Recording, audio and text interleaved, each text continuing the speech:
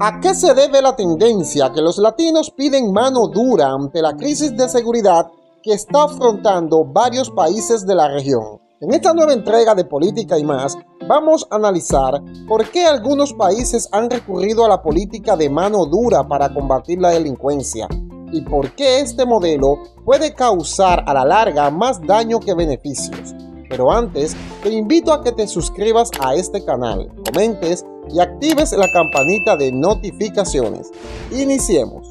En la actualidad, Nayib Bukele y Alejandro Yamatei en Guatemala insisten en combatir la violencia con militarización, megacárceles y endurecimiento de la pena.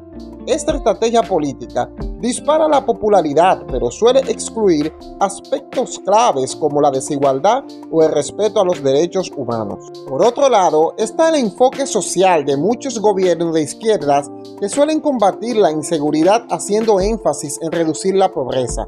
Pero a menudo, esta propuesta no termina de ser efectiva. En ocasiones, terminan generando impopularidad y la sensación de que el Estado de Derecho no funciona. Bukele planteó a los salvadoreños que podían tener seguridad o democracia, debido a las condiciones en que él encontró El Salvador, y como es de notarse, los salvadoreños eligieron la seguridad. Pero ¿cuál es el modelo de seguridad más efectivo? ¿La mano dura de Bukele o la política de abrazos y no balazos de López Obrador? Y cuál es el acierto y el desacierto que han presentado estas estrategias. La inseguridad es un problema real en la vida cotidiana de los latinoamericanos. De las 50 ciudades más violentas del mundo, 38 están en la región y México destaca en este ranking. La impunidad, la falta de castigo a los homicidas y otros delincuentes que están causando violencia hacen que México tenga 9 de las 10 ciudades más violentas del mundo. La clásica respuesta de los mandatarios en algunos países ha sido la política de mano dura, una estrategia que no es nueva.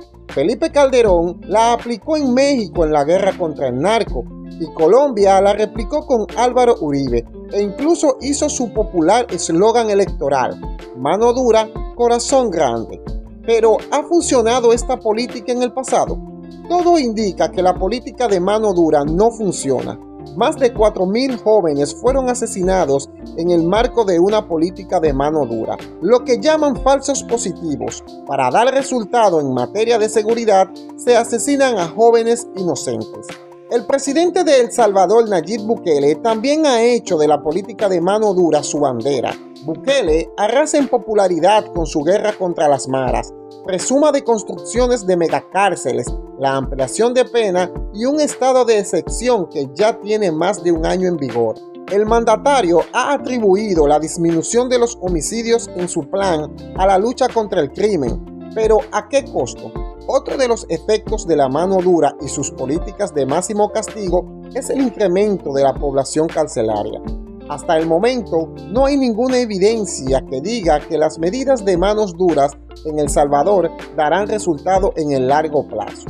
Ahora bien, no se puede dejar de lado que la violencia en El Salvador era insostenible y había que buscar una solución.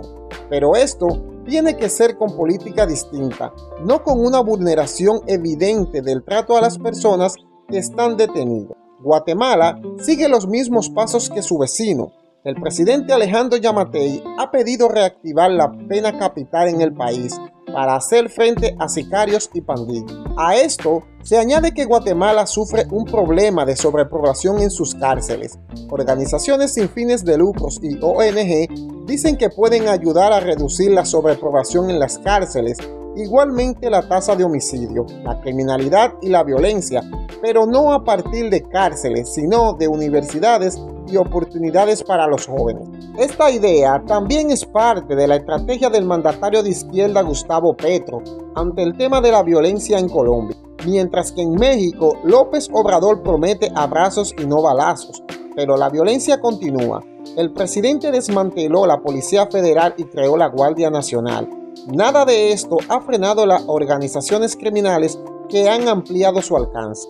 La oposición mexicana considera como populismo electoral que el candidato Andrés Manuel López Obrador dijo que iba a regresar a los militares a los cuarteles y no solamente no lo ha regresado a los cuarteles, sino que los ha llevado a ser los principales operadores de su estrategia de seguridad pública. Hablar de seguridad es efectivamente hablar de desigualdad. Sin embargo, expertos señalan que apuntar a esta como la única causa de la violencia no es suficiente.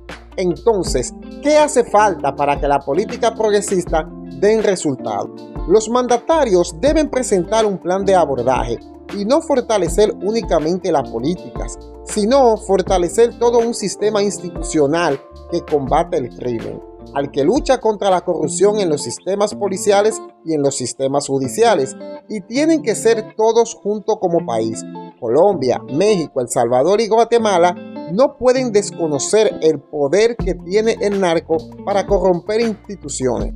Y esta es la misma realidad en los gobiernos de izquierda o en los gobiernos de derecha. A esta realidad, los ciudadanos deben buscar gobiernos que apliquen la ley a los agresores de las instituciones y apliquen su castigo correspondiente. Asimismo, hacer un Estado de Derecho para combatir la violencia, evidentemente que también tiene que influir en los factores sociales, como mejorar la calidad de vida de los habitantes, como conseguir trabajo, darles mejores prestaciones sociales a los policías que están en esa lucha para entender la violencia en América Latina hay que entender la inseguridad y la criminalidad en sus contextos locales, que es donde se arraiga y de donde se aprovechan para violentar las instituciones y corromper las autoridades. Pero ahora es tu turno y cuéntanos.